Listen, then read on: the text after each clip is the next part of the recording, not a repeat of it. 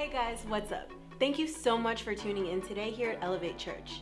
We know that today's message is going to rock your world and elevate your life to the next level. So sit back, relax, and enjoy the message. So, we've been talking about anger, one letter away from danger. One letter away from danger. And uh, we talked about, you know, the meaning of anger. Anger is simply an emotion of fear and pain. That's what anger is. And then, if you were to define anger just a little bit more, I shared this last week. Anger is an emotional response in the face of wrongdoing. That's the reality. And um, I want us to to learn about this this this real thing that we deal with called anger because we all have to process anger every single one of us because anger is always lurking at the door of our heart and uh, and it's just waiting to get a foothold and then Satan gets a stronghold in our life. And so we have to we have to learn how to process. We have to learn how to uh, manage and control our anger, and uh, that way we never get ourselves into a place of danger. And you have to remember this: anger is a learned response, guys.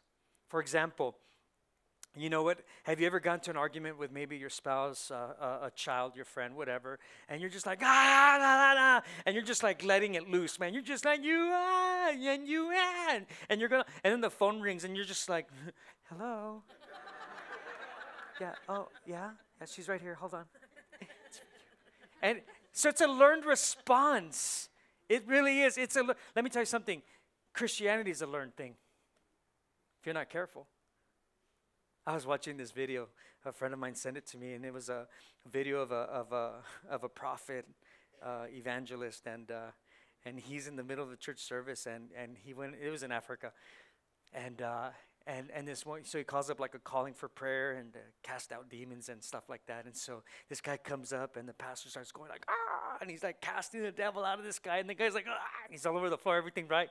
Then his cell phone rings. He stops. He's like, "Hello, why are you calling me right now? I'm in the middle of my deliverance. Okay, Pastor, keep going. it was hilarious. It's a learned response, guys. Sometimes our cray cray is really cray cray. You know what I'm saying? That's what anger is. Now, don't get me wrong, there is such thing as genuine, authentic moves of God, but I think what happens in our life is that we learn things. And sometimes instead of it being constructive, it's destructive to our lives. Does that make sense? And so, um, so it's a, it's it's something that's real. So don't be the person that says, "Oh, well, no, I'm angry because my grandpa was angry, my dad was angry, therefore I'm angry, and my mama was angry, and I'm angry, and my kids are angry, and Uncle Chewy's angry. Now I'm so so it's it's get out of that mindset that you know this is who I am because it's in my family line. No, this is who you are because you learned to be that way. But just like you learned to respond that way, how many know that you can unlearn to respond in a destructive way and you can relearn to respond in a healthy way? Because anger is a beautiful gift that God gave us, but what happens is sometimes it becomes a brutal thing and then we come up with that whole word brutalful right? It's a beautiful thing. Anger can be beautiful or brutal. But the question is, how am I going to begin to process this anger that I constantly deal with? Look at this Romans 12, verse 2. Check this out. God wants us to change how we view things. Look at this. He says, Don't live any longer the way this world lives. So I'm telling you, God is being very straight up. Stop living the way this world lives. You got to stop. You got to stop. That's a personal decision. You have to stop living. In other words, it's very clear that the world has a way of responding to anger, and God has His way of responding to anger. The world has a way how it lives their life, and God has a way on how He expects us to live our life. He says, Don't live any longer the way you were BC before Christ. No more, no mas. He says, let your way of thinking, let your way of what? So check this out. Events, you remember the cycle of anger? Events create what? Thoughts. And thoughts create what? Emotions or behavior.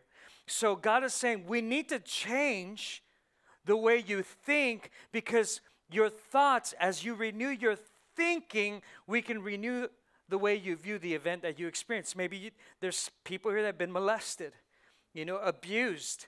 People here that have experienced a very painful event. You know, someone passed away and you, you still have the sting of, of that. Um, there's, there's, you know what? People sometimes have trauma from an accident that they have not been able to get past. And so what happens? Fear grips them. And so these are all, uh, uh, it's, it's the primary emotion. Remember, anger is the secondary, not the primary.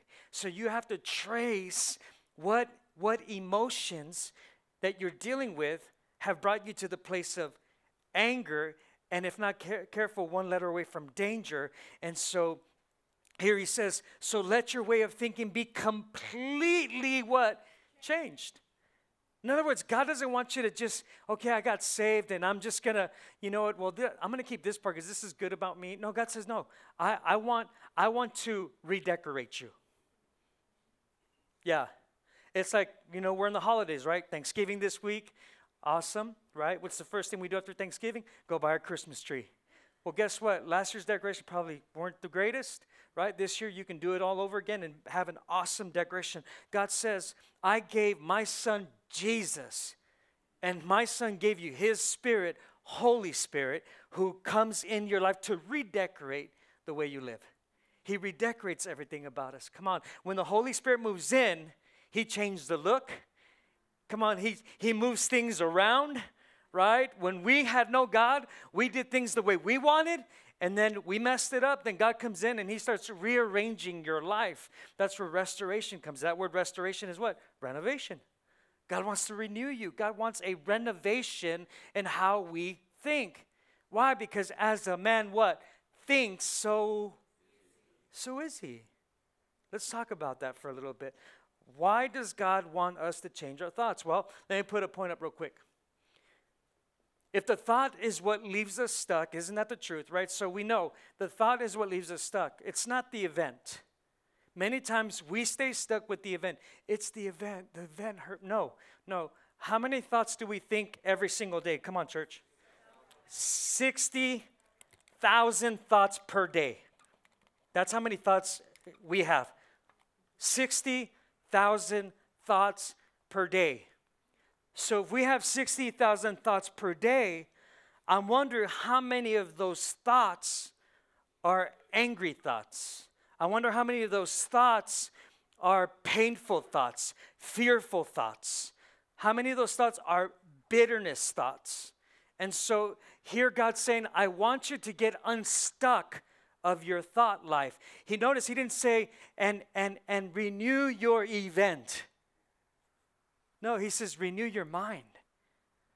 So the reason most people never move from the event, whatever painful event you had, come on, whatever hurtful event you had, the reason we don't move from it, it's not the event, it's the thought that you had regarding the event, which has now given birth to the emotions that you feel about the whole event, which brings you to a place called anger.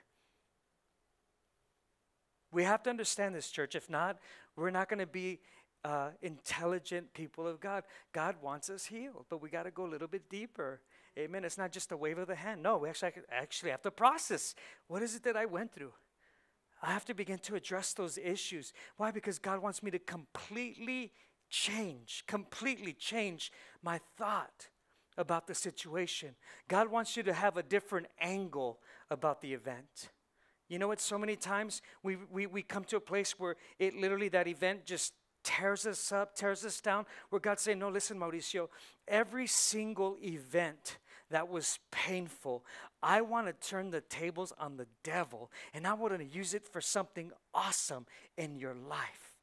I want to take that place of hurt and pain, and I want, I want that to be your greatest teacher, right? You're in school, and now I'm going to teach you how you can have a better, a better life. Look, being a thought makes it absolutely true or defining. Okay, so being a thought. However, number two, having a thought helps you what? Recognize that it's just a thought. In other words, have you ever heard that thought or that idea? Be the ball. In baseball, be the ball. Be I am the ball. I am the ball. I'm the ball. I am the ball. Ball, you are coming to me, right? Same thing with golf. Be the ball. Be the ball. Be the I'm the ball. And, and, and so you get that's what happens with us. Think about it. You stay stuck with your thought and now you be your thought. Think about it. I'm stupid. I'm so stupid. I, never do nothing right. I, so guess what happens? Anything you put your hands to is never right. Right? Because you messed it up before you even got started. Why? You be that. As a man be. I, I'm always lonely. I ha- nobody loves me. You know what? Then you have to qualify your thought, right? Because here's the truth. Well, let's just let's just really ask that question. Nobody loves you. Yeah, nobody loves me. Okay. Do you have a mom? Yeah. Does your mom love you? Well, yeah. Well, does your love dog love you? Yeah. Okay, well then that is a lie that no one loves you. See, but we don't want to we don't we don't even want to talk like that. We don't want we don't want to even think like that. Why? Because we're too consumed with being the lie. So what does God want us to be? He wants us to be the kind of people that just take a, a thought and say, you know what? I'm just having a thought. For example, let's say right now, you know, you're going through something that's challenging physically, right? So God's saying, okay, the thoughts are going to come, right? Boom, thoughts are going to come. Fear, you know, uh, uh, intimidation, all these thoughts are going to come. But that's okay because we're all going to have thoughts. So just say, I'm having a thought. Okay, I'm having a thought. Everybody hold on. It's I'm having a and why, why? Because if I'm just having a thought, what I'm saying is I'm recognizing that it's just a thought. In other words, this is temporary. It's not forever. Right? Maybe right now you're financially just broke. You know what? You're not gonna say, Man, I'm always broke. I'm broke. I'm broke. Well, guess what? Stop being broke because then you'll stay broke and just say, you know what, my thought is right now, I am lacking finances, but praise God. It's just a thought. I'm giving it permission to come in and I'm giving it permission to drift out. See, you, you change the angle of how you think. You have to do this. Why? Because it's real. It's real. This stuff that we deal with is real. And so God's saying, I need you to stop being a thought because when you're being the thought, here's what happens it also tells you that it's your truth and your reality. Where having a thought says, listen, it's not necessarily the truth and it's not necessarily your reality. Because I'm just, I'm just having a thought. And we all have thoughts, 60,000 of them, right? So when that negative moment comes, I say, having a thought. Praise God. Having a, let's all do that. Ready? Just having a thought. That's it. Just having a thought. Yeah. Why are you being negative? No, it's just just having a thought. Don't trip. Just having a thought. Huh? No, for that one, just like having a thought. Just more like that. Just having a thought. Are you hearing me? Okay, so so it's okay to have a thought, but the problem with us is when we have our thought, we think pain and not gain. You know what I'm saying? Where, where see, where you're stuck on pain, oh my God, and I'm not here to deny your pain, but I'm here to tell you, stop being stuck with your pain. Stop it. But you don't know. Stop it. Be completely changed. If you're going to roll with God, you will be completely changed. But you don't know what they. You're going to be completely changed or you're going to be completely stuck. That's up to you now. But you don't know if you were there, you're going to be completely changed. You're going to stop living the way this world lives. You're going to stop thinking the way this world thinks. You're going to stop thinking revenge. We need to stop that noise. We need to stop. We need to process the pain and realize that this pain is going to be for my gain. For example, when I was a young kid, I grew up in gangs, man. And, and when I came to Christ at 21 years old, I thought to myself, wait a minute. So I started processing without even knowing that I was processing. I'm like, okay, I came to Christ. I was an atheist. Now I'm receiving this Jesus who died for my sins. And and I'm like, okay. And my nickname was Temper, and I'm just like, okay, that's all I know is to hurt people, and and I, that wasn't a thought. See, my, it started with an event, and it started, and then it's, it went to the the thoughts, and then my thoughts is what I became. I became temper. I became anger. I became hateful. Uh, all these things, and then and then I was willing to. I told my Mauricio, you were willing to die for a stupid street name that's not even yours. It's the city's. like, how stupid is that? Like, where are you from? Well, uh, what? Is you don't even own it, dude. It's and then I thought to myself, you know I thought? I said, okay, well, if I was bold enough to die for a stupid street name, then I'm gonna be bold enough to share my faith in Jesus Christ. I'm gonna be I'm gonna be outrageously bold. I'm gonna tell the whole, I'm gonna go and claim the big old J, Jesus, right? And be like, Jesus, right? Just gangster. And and and so and so what happened? Instead, instead of being stuck with the pain of seeing so many of my friends be murdered and so many of my friends uh, uh, end up in prison, I started taking that pain and I said, I'm going to make this a gain and I'm going to learn from this and I'm going to be the most radical disciple of Jesus Christ for the rest of my life. You see why? Because the devil already took my childhood and he took my teenage years but he didn't get my 20s, he didn't get my 30s, and he didn't get my 40s. Praise God, right? So you have to take your pain and you have to go ahead and start having some gain, right? But there's some people here. Let me talk to you, the young people, millennials. How many millennials do I have in this room today? Lift your hand if you're a millennial. Okay. Okay. Some of you are afraid to even lift your hand. That's, that's all right. That's all right. You think you're old and all that, but, you, but let, let me tell you, millennials. Here's the problem with young people young people have wasted a lot of their time. Now, don't get mad at me. Don't get angry. Listen. So many young people have wasted and are wasting life. Why? You're wasting it with, with you know, still clubbing, uh, still hanging with the wrong crowd, um, wasting it with, with uh, you know, dating all these different people. I've dated this, that, and all that, and uh, and and been there, done that. And I've had probably in just my millennial years, I probably already had like five plus jobs, actually going on ten. And uh, and you know what? And then you got all these young guys. You know, God bless them. You know, they're they're they're masters of video games like Call of Duty. They're laying aside their call and their duty instead of mastering the call of God because it's the duty to serve our God.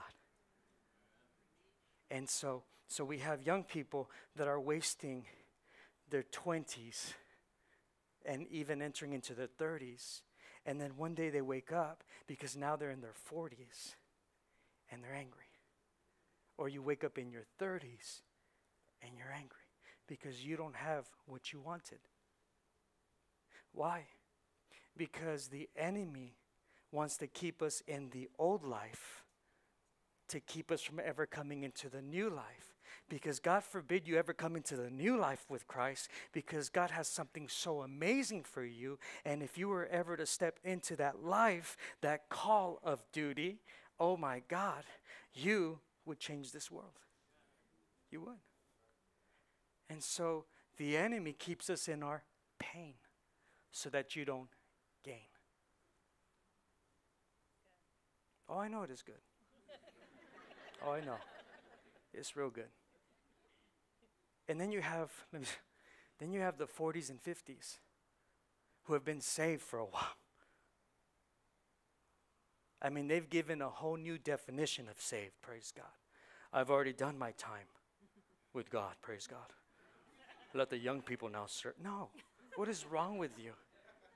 You know, it's like you turn 40 and you think you're already retired, God. You know what I'm saying? Like, I've done my time. You know it?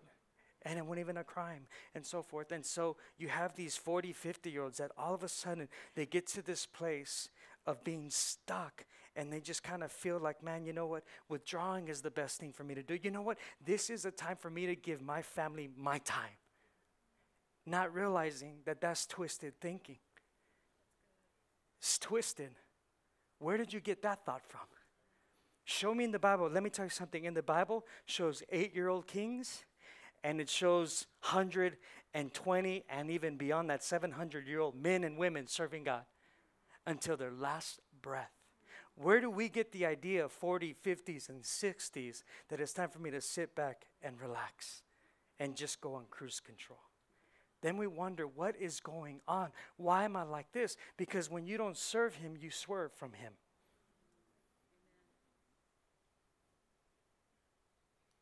It's the truth. So you waste your 20. I've already wasted enough childhood and, and teenage years. Why am I going to let him who stole, why would I let him continue to steal longer? You have to come to the place like, okay, Satan had my 20s, but he ain't getting my 30s. Praise Jesus. You know what? As a matter of fact, my 50s will be better 50s right? It'll be the best 50s of my life. It'll be the best 60s of my life. It'll be the best 70s of my life. It'll be the best 80s of my life with God. That's what God wants. He wants us to go ahead and, and take the, the pain of whatever experience you've had, and He wants you to make it your gain so that you can accomplish and step into everything. God wants you to master. If He wants you to master anything, it's your call and your duty. You have to serve God. When people start thinking, why? My job is to, is to serve my family. Duh. No duh. That's the given, bro. That's the given, sister. Obviously, you better love your kids. Obviously, you better raise your children. That's your job. However, God says, first, love the Lord your God with all your heart, with all your what? Soul. What's your soul? Mind, will, emotions. With all your heart, with all your soul. You love God with everything. It didn't say love your family with all your heart, with all your soul, with all your might, with all your strength. No, it says first love your God, then love your family.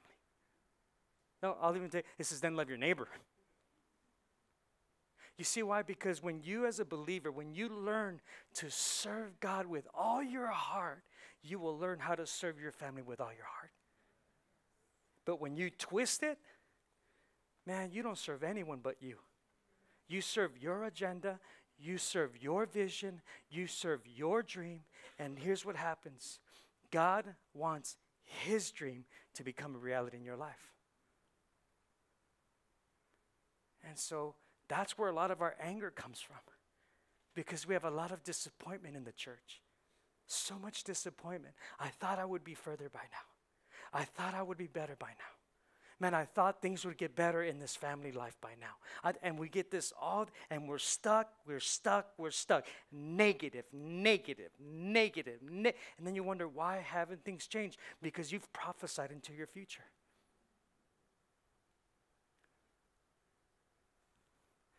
Quiet up in this Catholic church today, huh?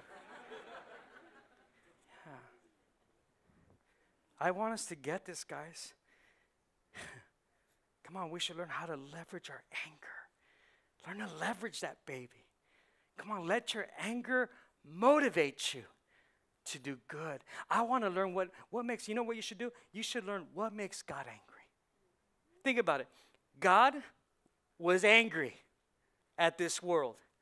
And you know what? He was so angry that he displayed his anger on the cross. Oh, yeah. For, for God so loved the world that he was angry about the world being separated from God because of sin. And so, God, it says, the Bible says that he poured out his wrath on who? His son. Can you imagine that? Talk about wrath. He, he says he poured out all his wrath on his son. Let me tell you something God does not hate people, God hates sin, not people. So he unleashed his wrath on the cross. And Jesus took the sin of every single human being on planet Earth. All sin, past, present, future, took it all upon himself. I mean, it was, he was the perfect sacrifice. And God is just pouring out the wrath. Ah, I hate, he was destroying sin, not destroying you. He wants you. So God, God took his anger at sin and was motivated by it to do something to get you back. Talk about ah, what gets God angry. Let me give you a perfect example. Go real quickly to 1 Samuel chapter 17, quick. 1 Samuel chapter 17. Because here is a perfect example of a person by the name of David who literally took his anger and allowed it to be his, um, his motivation to do something amazing. And we know the story, right? He shows up. He's well. First, he's at the he's in the desert taking care of his father's sheep, right? He's tending the sheep, doing what he's supposed to be doing, being a good kid. And his dad calls him over, says, "Hey, go take some uh, some some, you know, uh, grilled cheese sandwiches to your brother, cheese and bread." And so now David is all excited because his brothers are on the battlefield, and you know, David, man, he was being prepped by God and, uh, and so he shows up to the field and he sees this Goliath and he's kind of tripping out, like, why aren't we fighting? You know, here's little David, right? I mean, David is just a kid who's tending sheep. And when Saul should have been fighting Goliath, he was all sitting back, relaxed, just taking a chill pill, not doing what he was supposed to be doing. And let's take it up on 1 Samuel 17. I'm going to read through different verses, so stay with me. 17 verses 20 through 37, 42 through 47, and then we'll we'll end with 49. However, if you're a note taker, open up our, our Elevate Church app. We have our notes there. You can fill in the blanks. Look at this. This is David, David's oldest brother, Eliab, heard him speaking with the men. What was David talking about? Well, David shows up, he forgets the sandwiches, and he starts talking to guys because he heard a rumor that Saul, the king Saul, said, If anyone defeats this Goliath, you get my daughter and you'll never pay taxes again, and you'll be filthy rich for the rest of your life. So David was like, What? And so he starts going and he's getting the 411 from all these different soldiers, like, Hey man, I heard, T- tell me what, okay, explain this to me. Yeah, you get the daughter, you get, is she fine? Oh, she's fine. Oh, okay. So, and then, and then wait a minute, you don't pay what? You don't, you'll never pay taxes, never pay, ta- and you'll be, you'll be, what? And so check this out. So he's out, he's right there inquiring, right? So so look at this. So Eliab heard who's Eliab? Eliab is his brother. And he's hearing him talk to the men. And look at this. Check this out. Here's anger again. And Eliab heard him speaking with the men, so he what? Burned with anger at him. Have you ever said that to yourself? Like, ooh, right now I'm just burning right now. Huh? Like you can you can feel the fire right it's like ah, i'm just like burning right and so so he burned with anger at him and he asked him why have you come down here and look look look what jealousy does look anger leads you to jealousy and jealousy leads you to a lot of stupid talk look what he says to him he asked them, why have you come down here who did you leave those what few sheep so in other words he was telling me you know what david you're just a small thing i'm a big thing you do little things, I do big things, bro. What are you doing? Little you, what are you doing here? And look at this. I love this. And uh, and why have you come down? Who'd you leave those few sheep with? I know how proud you are. Look at look what jealousy. Jealousy will literally twist the way you think. He he's the prideful one, and yet his angle of, of, of how he sees David is like, why are you so prideful? Pride people don't know they're prideful. Look, he says, Why are you so proud? And look at this. And I know how evil your heart is, David. Talk about talk about deceit. But let me tell you something. Angry people, they have a distorted point of view. They always do. They do. They see why? Because they have their own truth and their own realities. Why? Because they be the thought. They're not just having a thought. Is that is that connecting now? And so he says, and the only reason you came down was to watch the battle. What have I done now? Is what David said. Man, what have I done? You know, David was just a, a teenager here. Said, David, can I even speak? Then he turned away to speak to some more other men. So he's going back and he's confirming it. Hey guys, so so tell me about this chick. You know, like, are we the same height? And you know, I mean, so he's just a kid. Just think, he's just a kid. So he's done. He's talking. His brother's talking smack, and he's like going back, and he's getting more confirmation. He wants to get validation of the story if it's true. And so he turns and he speaks, and to other men, he asked him the same question that he had asked before. Look at that. I wonder how many times he kept asking the same question, and they gave him the same answer. And someone heard what David said and reported to Saul. Look at this. So Saul sent for him. David said, Saul, don't let anyone lose hope because of this Philistine. Listen, David shows up and he has a motivated anger. And he looks at the king. He says, King, but let me tell you, you better stop losing hope. You see, a healthy anger restores hope in a very bad, angry situation. A soft answer turns away wrath. And so he says, Yo, don't lose hope. It's all good. We got this. And then he starts cussing this uncircumcised Philistine. He's going to go down today. oh, yeah, that was his cuss words back in the day. So don't let anyone lose hope because of this Philistine. I'll go out and I'll fight him. Saul replied, You aren't able to go out there and fight the Philistine. You are too young. He's been a fighting man ever since he was a boy. But David said, Listen, Saul, let me tell you my experience. See, because my experience have created these thoughts that you're hearing today, and my thoughts have created this behavior that you're seeing now. Are you with me? So check this out. He says, So let me tell you something. He says, I've been taking care of my father's sheep. Sometimes a lion or a bear would come and carry off a sheep from the flock. Then I would go after it and hit it. I would save the sheep it was carrying in its mouth. If it turned around to attack me, oh man, I would grab hold of its hair and I would strike it down and kill it. In fact, I killed both the lion and the bear. Oh my. I'll do the same thing to this uncircumcised, stinky Philistine. He isn't even circumcised. he's not even circumcised. so he's laughing with the king, right? He isn't even circumcised. He has dared. How dare he? Look at this. He has dared the armies of the living God to fight. Are you kidding me? The Lord saved me from the paw of the lion. He saved me from the paw of the bear. See, think about it. He wasn't, he experienced an event that was very brutal. Can you imagine fighting a bear? Come on. Some of you read this and you hear me, it's like a fairy tale. No, this is reality. This is the Bible. God left us the Word of God to show us an example of what men and women should look like. God's saying, hey, listen, what does a bear do? Man, it bites. What does a bear do? It bites. What do people do? They bite. they slap. He says, man, I've had an experience of pain with the lion and the bear.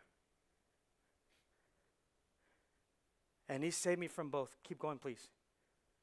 And he'll save me from the powerful hand of this Philistine too. And Saul said to David, Go and may the Lord be with you. Keep going. And Goliath looked David over and he saw how young he was and he also saw how tanned and handsome he was. Come on. He showed up with a tan. And he hated him. And he look and he what? And he hated him. Look at see, listen. Eliab had daddy issues, but so did Goliath. You see, anger always stems from something. Most men have daddy issues. That's why they never step into their manhood as men. That's why there are more spiritual women leaders than there are spiritual men leaders. Why? Because there's an anger inside a man. He's angry about how his upbringing was. Why do our sons become dysfunctional? Because they're a product of you. We have to change this, church. Men, we got to change it, man. How dare the enemy try to come and attack God's family? And he said to David, Why are you coming at me with sticks Do you think I'm only a dog? The Philistine called down curses on David in the name of his God. Come over here, he said. I'll feed your body to the birds of the air. I'll feed you uh, to the wild animals. And David said to Goliath, Man, you are coming to a fight against me, bro, with a sword, a spear, and a javelin but I'm coming to you against you in the name of the Lord who rules over all. He is the God of the armies of Israel. He is the one you have dared to fight against. This very day, the Lord will hand you over to me. I'll strike you down, I'll cut you. This very day, I'll feed the bodies of the Philistine army to the birds of the air. I'll feed them to the wild animals. Then the whole world will know there is a God in Israel. The Lord doesn't save by using a sword or a spear, and everyone who is here will know it. The battle belongs to the Lord, and He will hand all of you over to us. What if we started looking at our events that way? Realizing that the event is trying to choke you up, the event is trying to keep you there, the event wants to have a funeral service in your life every single day.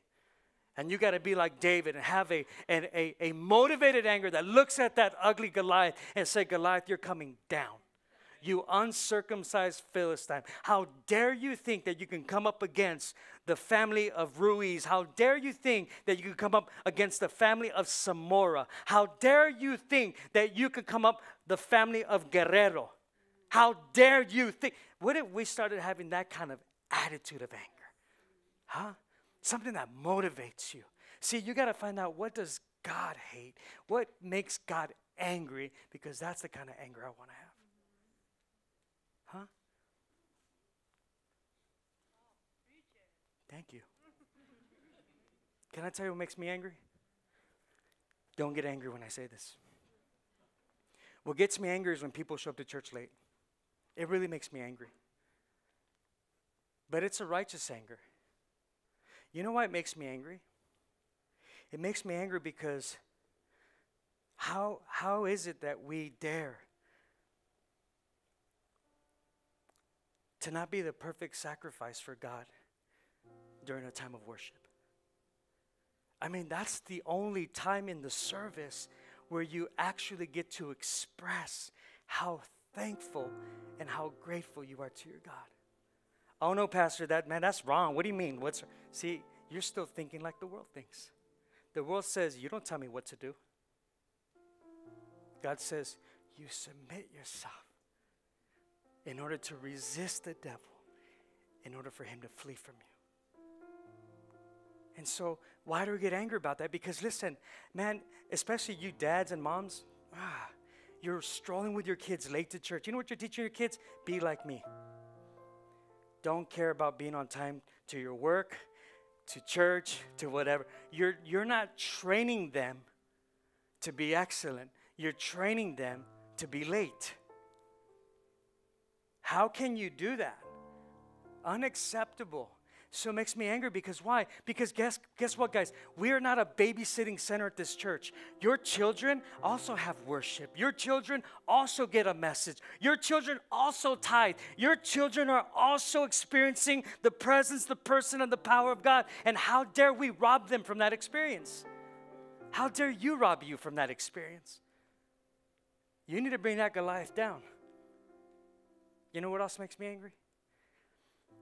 It makes me angry when people don't tithe. Don't get angry. I have been tithing since the age of 21 years old. The moment I gave my life to Christ, I didn't question tithe. I just did it. Why? Because if I was radical to serve Satan with my money, I'm going to be radical to serve God with my money. And I get angry. Why? Because you know what? There's this stigma in church that when I give my tithe, I give it to the pastor. You know what? That is a foul and ugly mindset. Number one, God doesn't need your money. Let me just tell you that right now. He don't need your money. You know what he needs? He needs your heart. That's why you tithe. You tithe because he wants to know that your heart trusts him in everything. That includes my finances.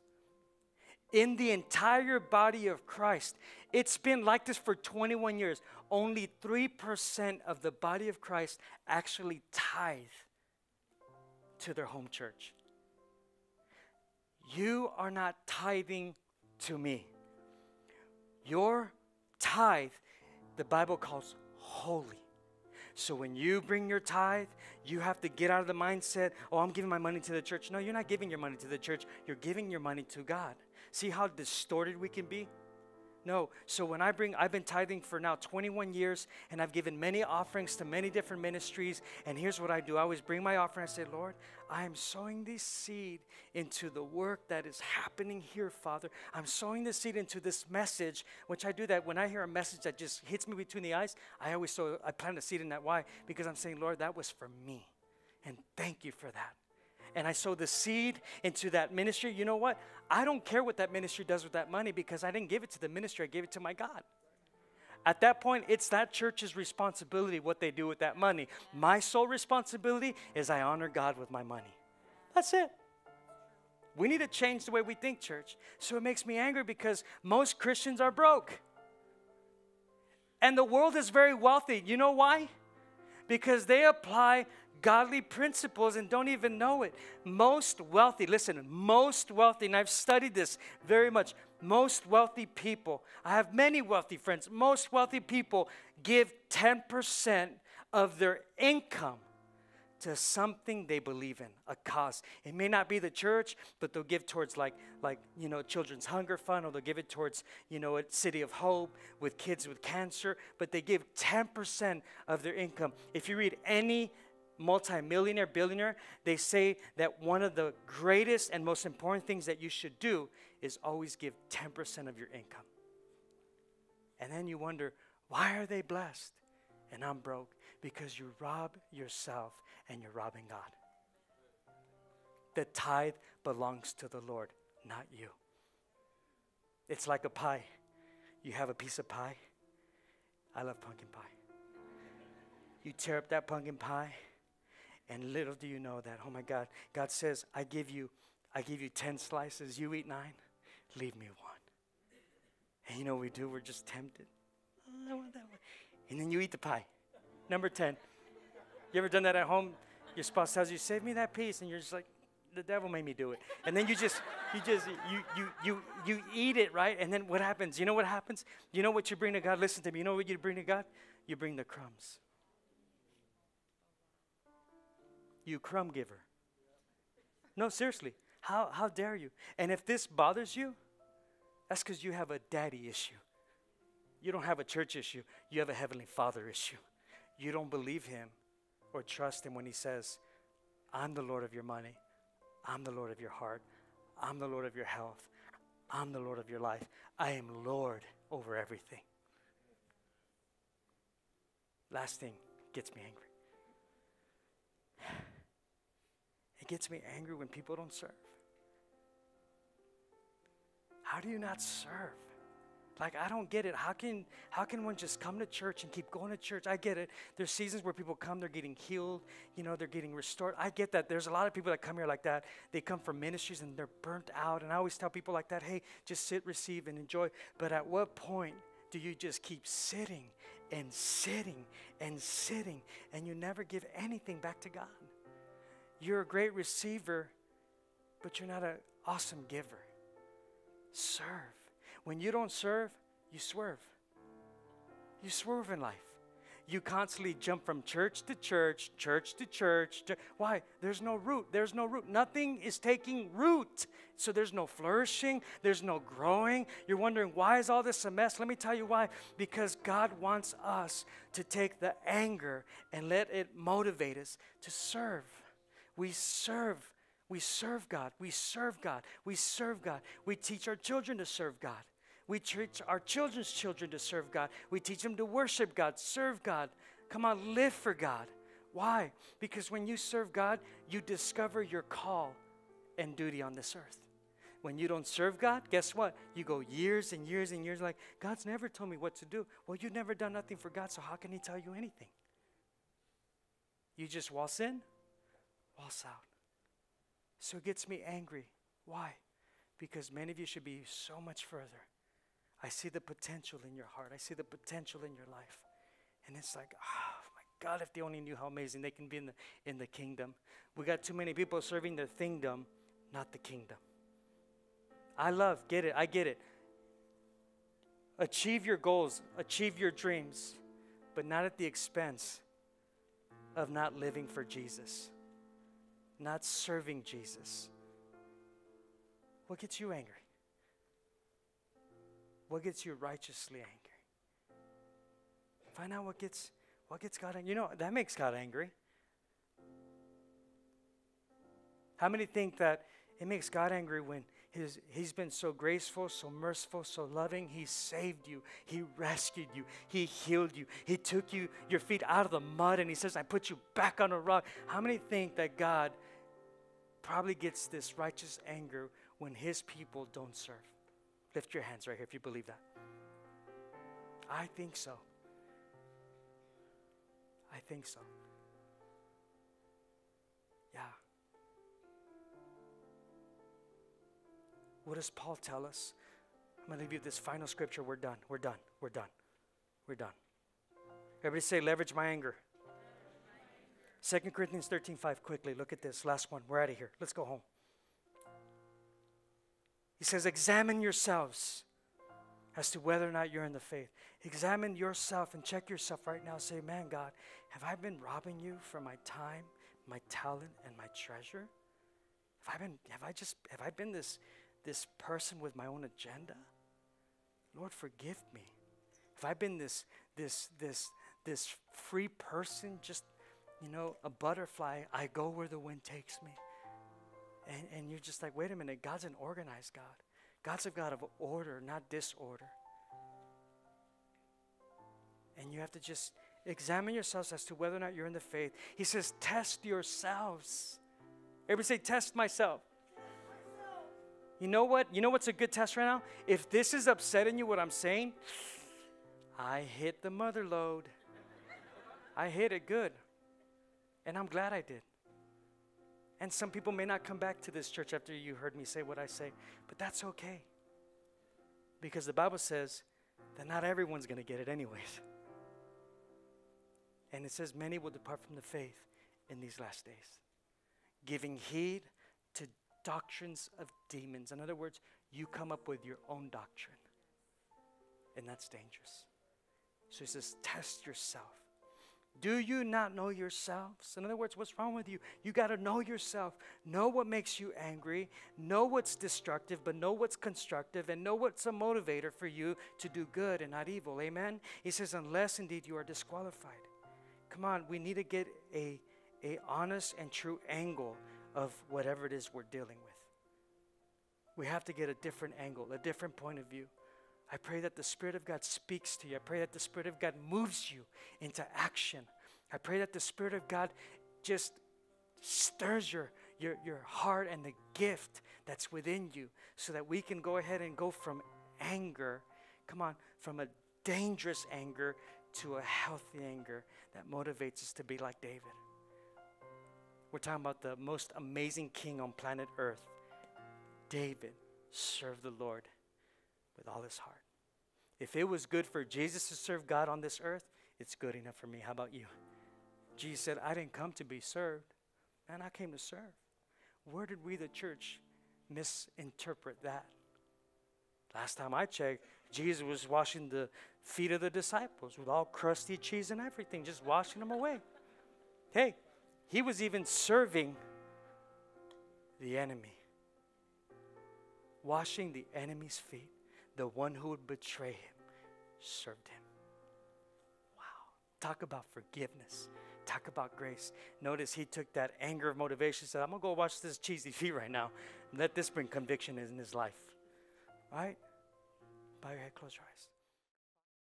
If today's message impacted you in any way and you want to help us spread the gospel with a financial gift, text the number below and we know that someone's life will be changed the same way that yours was today.